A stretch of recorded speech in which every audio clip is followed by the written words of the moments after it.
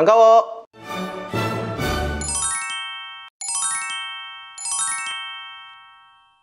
오늘은 백신 용어에 대해서 확실하게 익히고 또 초급 중고의 기본 문형을 함께 활용해 보자고. 당하지 마! 여러분들 이 영상 끝까지 봐주게 되면 백신에 대해서는 확실하게 표현할 수 있을 거야. 자, 시간이 금이니까 백신 용어에 대해서 먼저 알아볼까? check, 백신이 중국어 뭐라고 하냐? 한자 무시하고 그냥 따라해보자. 이미ao, 이미ao. 이게 바로 백신이야. 자, 근데 백신을 두 번 맞지? 그럼 2차 백신 뭐라는 줄 알아? 제2차. 백신 앞에다가 제2차를 쓰면 돼. 자, 따라해보자. 第二次疫苗,第二次疫苗. 자, 그 다음에 이제 부작용. 오, 이거 한국어 발음 비슷하네? 자, 해볼까? 副作用,副作用. 비슷하지? 쉽게 익히겠지? 자, 그 다음에 증상. 요것도 한국어하고 조금 비슷해. 따라해볼까? 症状,症状. 그 다음에는 이제 뭐냐면 접종하다. 아, 이것도 한국어가 비슷해. 발음이. 자, 접종하다 뭔지 따라해보자. 接种,接种.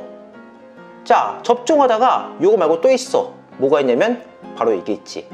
따, 따 근데 이것은 이 따는 뜻이 너무 많아. 그러니까 여러분들 귀찮으면 그냥 찌에종 이거 하나만 익히자고. 응? 자 예약하다?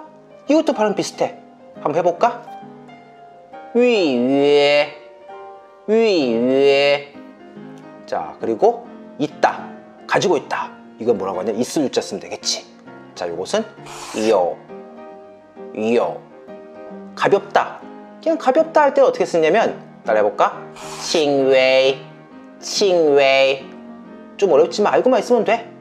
자, 그 다음에 약간 따라해볼까? 한일자가 나오네. 약간 이거야. 이시에, 이시에. 자, 그리고 뭐뭐의 이것은 어떻게 하냐? 的, 的. 그리고 아직 안 했다. 이거 둘 다 부사 되겠지? 아직 안은 이렇게 하면 돼. 아직은 还고 안은 没야. 그래서 아직 안 했다 했을 때는 还没 라고 하면 되는 거야. 자, 그 다음에 과거 완료 같은 경우는 보통 동사 뒤에 쓰거든. 자, 이것은 동작이 이미 완료된 것을 말한 거야. 그때는 러, 러. 그리고 마는 뭐냐? 문장 맨 마지막에 쓰게 되면 의문문이 되겠지.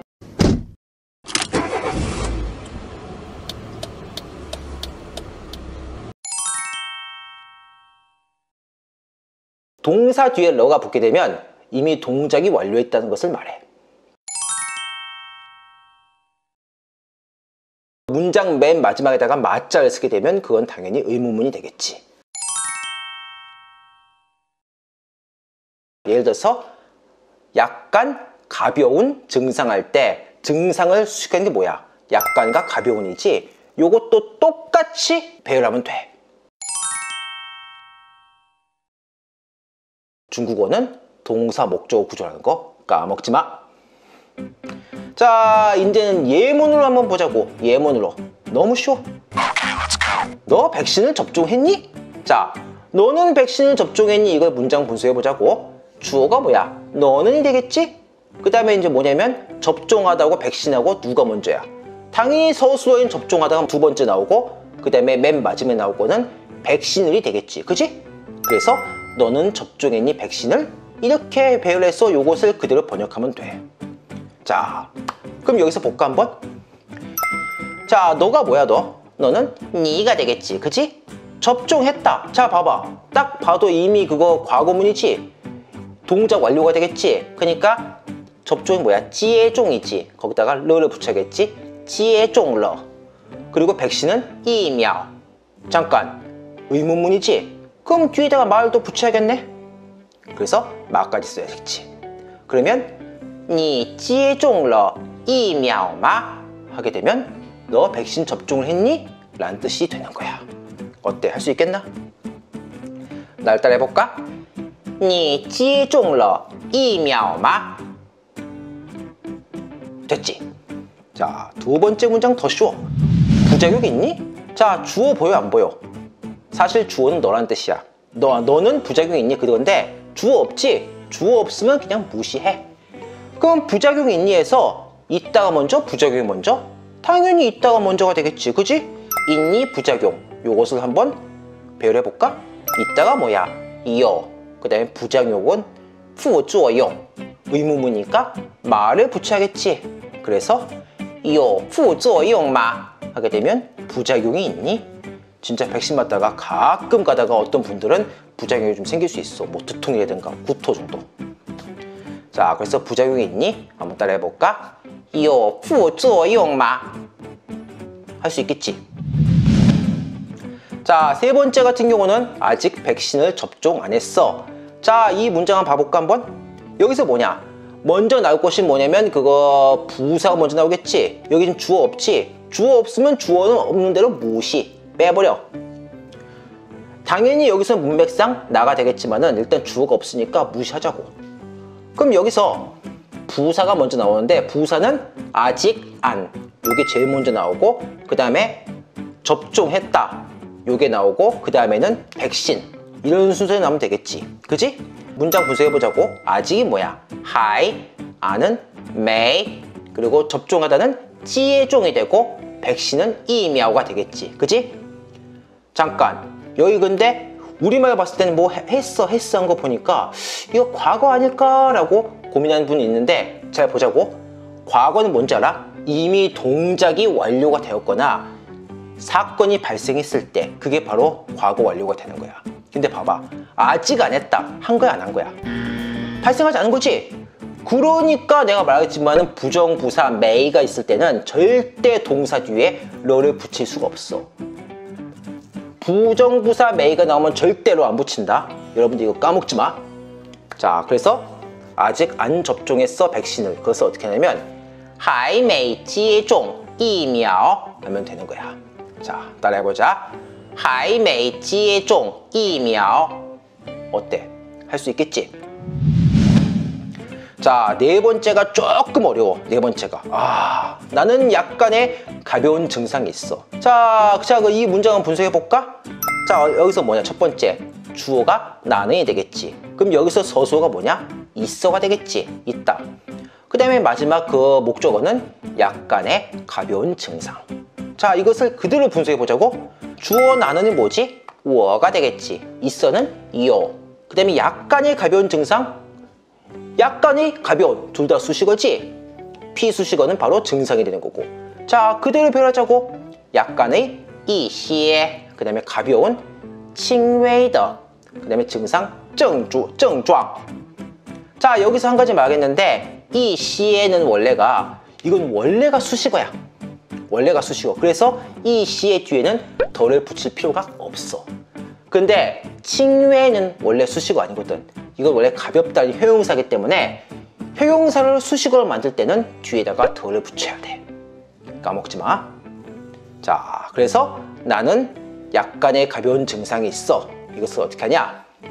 我有一些轻微的症状. 다시 한번 따라해볼까? 我有一些轻微的症状. 자, 이제 마지막 그 문장이 되겠네. 마지막 문장. 너 2차 백신 접종을 예약했니? 아이고 복잡해. 아이고 복잡해. 이거 어떻게 할까? 먼저 주어는 너가 되겠지. 그 다음에 서술은 예약했니가 되겠지. 그 다음에 이제 맨 마지막 그 목적어는 2차 백신 접종을 자 근데 이것을 너무 복잡하니까 2차 백신 접종이냐 2차 백신이냐 똑같겠지. 의미상 그치? 그럼 접종 빼. 그냥 2차 백신로 목적어를 간소화시켜 그러면 너는 예약했니? 2차 백신을. 그지? 딱 봐도 의무문이네. 그리고 봐봐. 여기 지금 동작이 완료가 돼 있을까 안 돼 있을까? 이미 동작이 문맥상 봤을 때 동작 완료했니 아니니 그것을 물어보는 거 맞지? 그러니까 당연히 동사 뒤에도 러가 붙어야겠지. 자, 그럼 하나씩 보자고. 너는이 뭐야? 니 예약했다? 예약하다 뭐였지? 위위에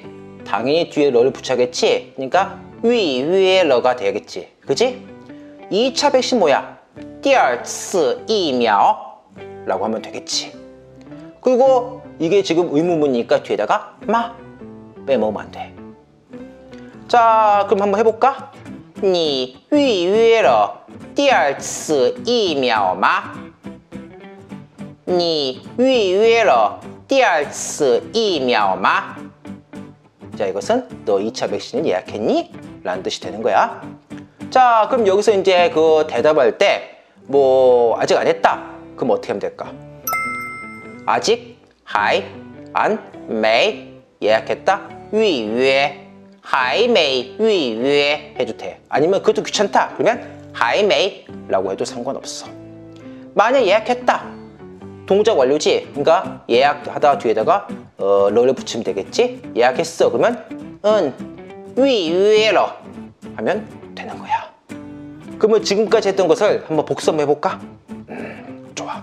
한번 따라해보자. 첫 번째. 너는 백신을 접종했니? 자, 한번 따라해볼까? 你接种了疫苗吗? 부작용이 있니? 어떻게 할까? 有副作用吗? 세 번째. 아직 백신을 접종 안 했어. 자, 이거 어떻게 할까? 还没接种疫苗. 네 번째, 난 약간의 가벼운 증상이 있어. 我有一些轻微的症状.